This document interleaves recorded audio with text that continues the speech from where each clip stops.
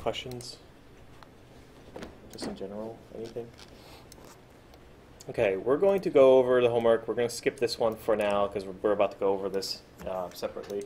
Um, the homework was to set up some button presses to shoot the ball of uh, various speeds. Um, there's a lot of different ways to do this, so the way that I'm going to show you how to do it may or may not be the way you did it. Um, if you did it differently and you want to like share how you did it and you want me to like give you some advice or critique, then let me know. Otherwise, um, I'm going to show you the way that I would approach it, and uh, we're going to go this kind of step by step. So this all assumes that you kind of have a ball that uh, bounces around the, the four walls. So um, let's start with that, and then we'll jump into how to actually have this ball shoot at various speeds with the keys 1 through 4. Um, so the first thing is uh, I, I, put I put an engine up in SDVA, a clean one, because we're going to need one for this class. Uh, we're going to make a ball that bounces around all four corners with velocity. And velocity is kind of the important piece here because we are going to be controlling the velocity with keys that we press. And for the last part of the homework, it was how long you held the spacebar was also going to control it. So the first thing I'm going to do is set up my shape to be correct. So I'm going to just do some initial setup. So I'm going to set the origin to be in the middle of the circle. I'm also going to put it kind of semi um, like there, like in the top left corner. Just so it's a smaller circle so I can see it colliding. Okay, there's our ball. And the next thing I'm going to do is set up this ball so that it starts moving. And we know that we can move a shape by calling move, right? You can do like this. And last, last class we talked about how to use uh, delta time to make sure the ball moves at a consistent speed. I don't know the velocity of this ball, and it makes it really hard to control the speed of the ball when you have numbers like this. So one of the first things we need to do is set up a clock and set up something that handles time by restarting the clock every time we go through our game loop. So now that we have a delta time, we can do things like 100 pixels per second.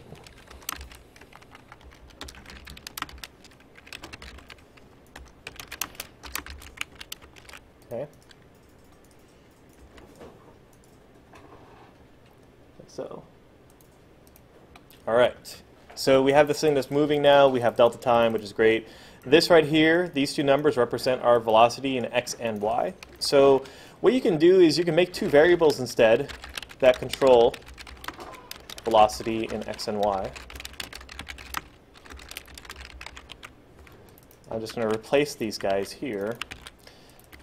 Because now that we have two variables, we can change these variables and it'll affect how fast the ball is moving.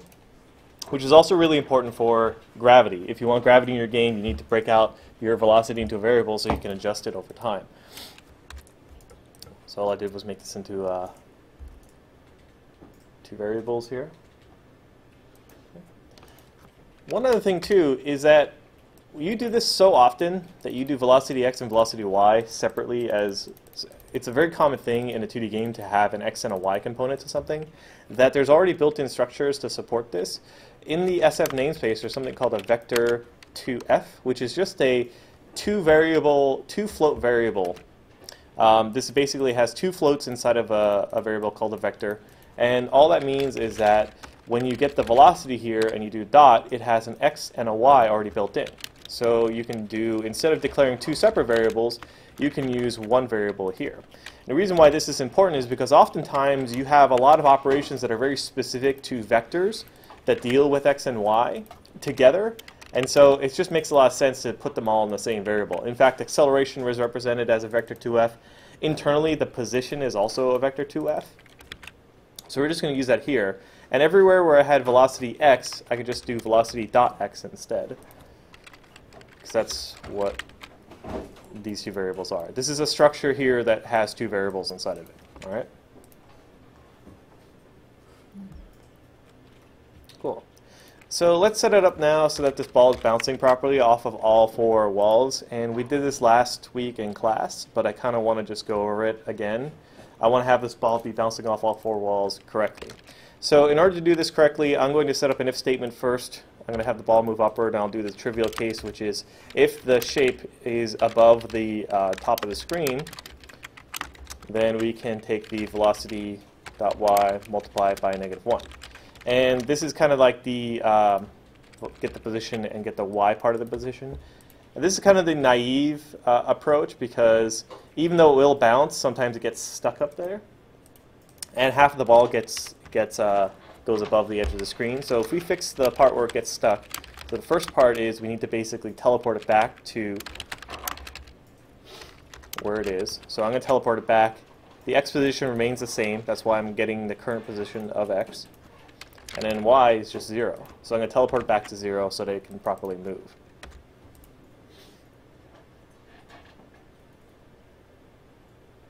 So it bounces, although the shape actually goes slightly above the top of the screen, which is why you also need to consider the radius of the shape. Here. And now the shape will properly bounce when the top corner of the shape hits the top edge of the screen. And the shape will, will bounce off the top, but it won't bounce off the bottom because we haven't written that yet. So let's do that next. Take this whole thing.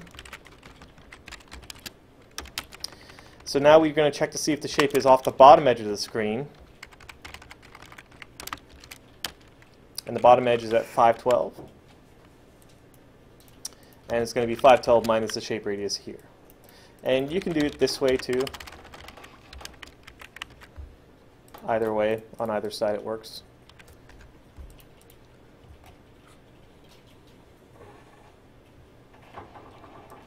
Oops, I actually didn't want to subtract this over here.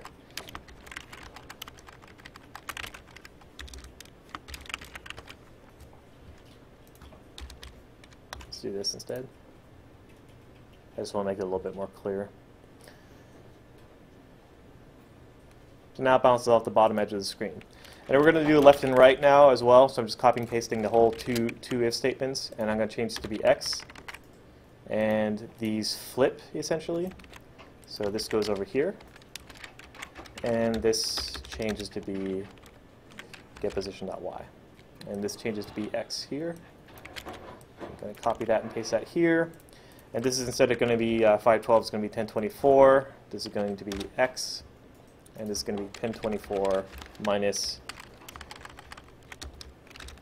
get radius. And this is going to be on the x position here. And this is going to be get position dot y.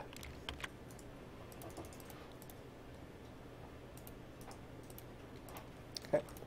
So now uh, this will cause us so the ball will bounce off all four corners of the screen, which means now we can do our um, our aiming and shooting properly. So just let it bounce off the left side here. Cool. So th these four pieces here is exactly what we're going to do for Pong. So I'm actually going to save this off right here and copy this to the network so that you guys can have it uh, because we're going to need it for a lab. So let me just do that right now.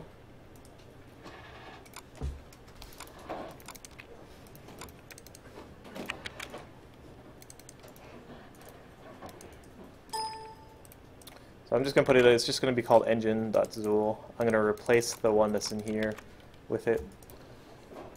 Okay, so this is basically a simple ball that bounces off all four walls. Great. So now let's set it up so that when I press keys, that's when it actually starts to move. Is it crucial that we had that in, in our homework? Because I took that part out.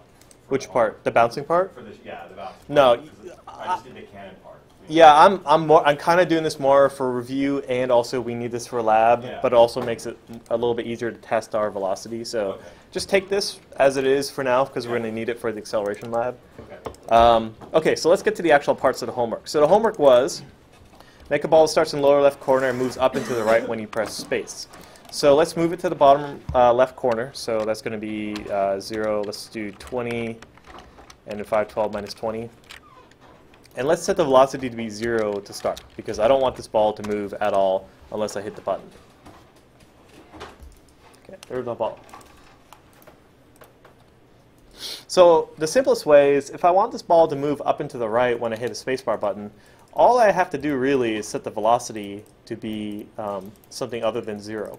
So if I go in here and I set up my event here, and this is all part of the, uh, the event handling, and then I, I figure out that I've hit the spacebar button,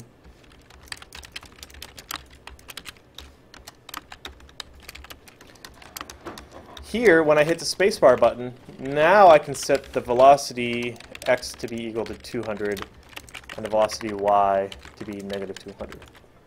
And this is all it takes to do number one, is to basically, when you press the keyboard for space, you set the velocity uh, to be something other than zero. So it's just sitting here, and as soon as I hit spacebar, then it shoots up and bounces around as normal. Now, what's interesting is that even though I haven't pressed anything yet, the ball is actually has, it's trying to move right now. It's trying to move, but I'm going to put a breakpoint here. The velocity here is zero. So even though it's actually still running this code all the time, the velocity is zero, so it doesn't move at all. So you don't really need to do anything other than just set the velocity to zero, and that'll stop it from moving completely. Okay. All right. Questions on this part here? Make sure this ball falls with gravity. We're going to do this uh, in lab. Now set up the keys to launch a ball with varying speeds.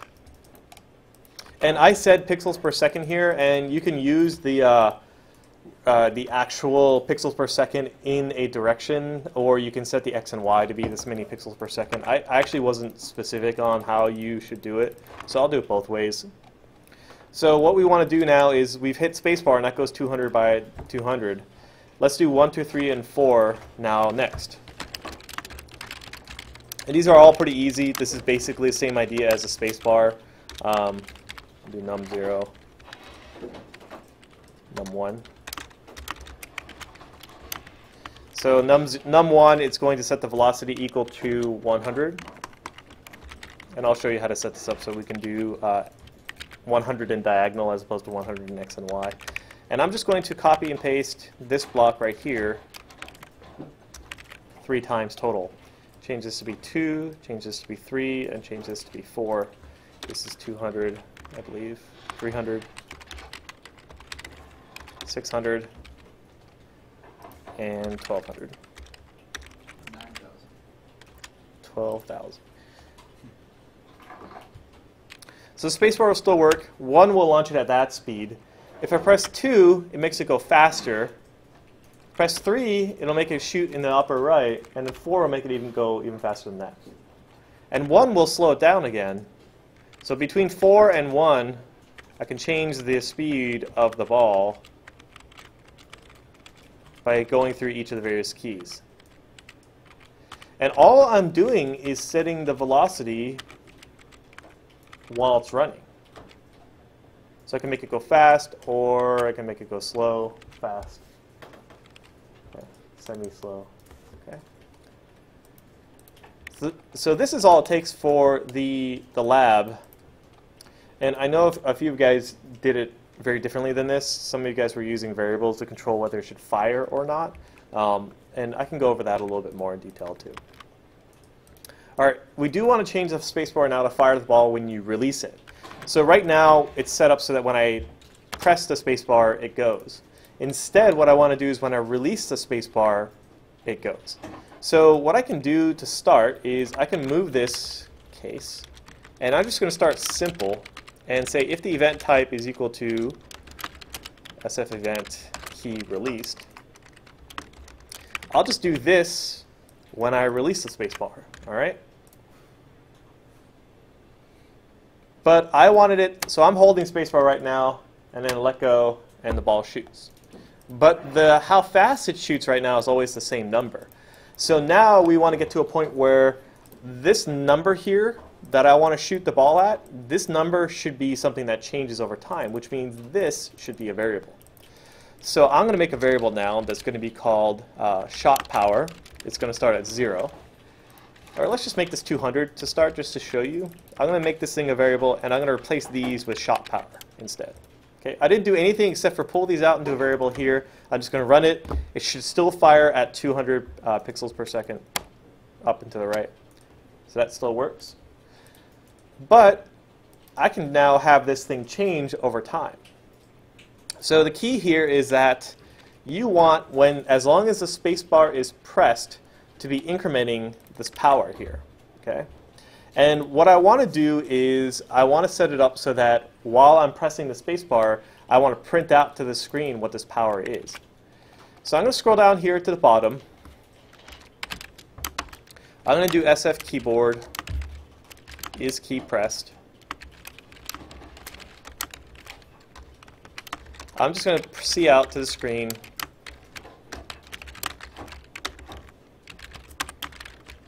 Spacebar is pressed.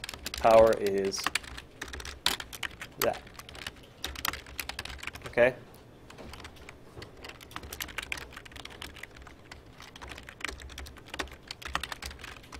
Okay. So I'm going to run this, and I'm going to show the uh, console on the left side. So this if statement here basically says, hey, as long as the keyboard is currently being held, print this out to the screen. So it's going to print out, sorry, not to the screen, to this console over here. So let's do this.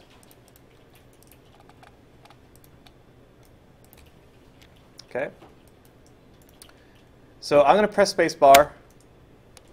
Spacebar is pressed, and it prints out that thing to the screen, and then it stops. Cool. The power is always 200, though. So instead of just printing out here, why don't I take this power and add something to it? So if I just add like 1 to it, right? And I'm going to change this here quickly because I want to make sure I count for delta time. If I just print this out to the screen, and let's start this off at 0 now. As long as I'm holding spacebar down, the power is going up right? And then the longer I hold it, the faster it should go, because we've already shown that it's using that variable, right? And we can slow it down again, and then if I press and hold spacebar, the power keeps picking up from where it left off. And every time I press spacebar, it goes faster and faster. So there's one more thing here there's two more things. One, I don't want to just add one here. I actually want to like increase it by some units per second. Remember, we this is why delta time is important. if I want this thing to go up 100 units of 100 pixels per second per second, that's how much faster I want to go. I can do delta time times as seconds, just like I did with the velocity. And now shot power will go up 100 pixels per second.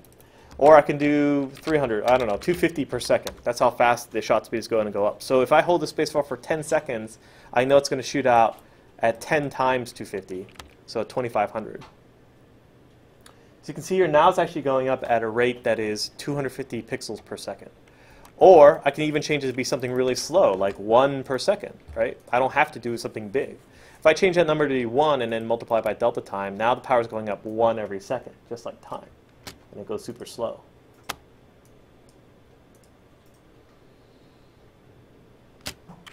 Fast, and then you have it go super slow.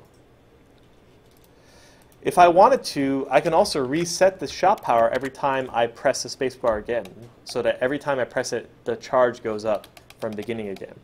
And all I have to do to do that is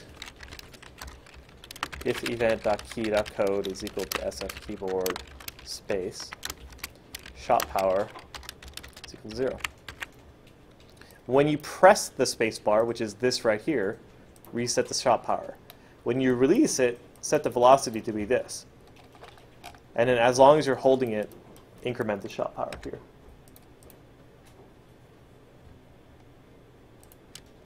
So a system like this, oh, I forgot to mention that. If you also do, uh, if you have this thing pressed, you want to also say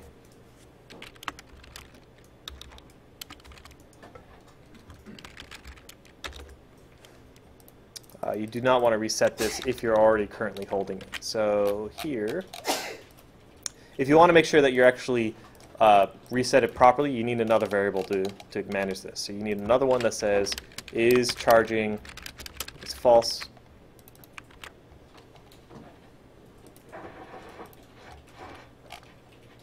And here you're going to set charging to true. And then up here, you're only going to reset it if you're not charging. And when you fire it, you're finally not charging here. So that variable here is also going to control whether you reset the shot power or not. This is an optional thing. I didn't ask you guys to do this. This is more just something for the sake of like the uh, resetting it. So now when I press spacebar again, oops, did not print that out correctly.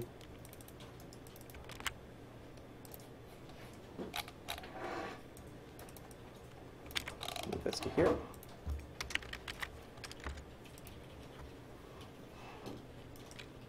Now when I press the spacebar, every time I press it, it restarts back from the beginning.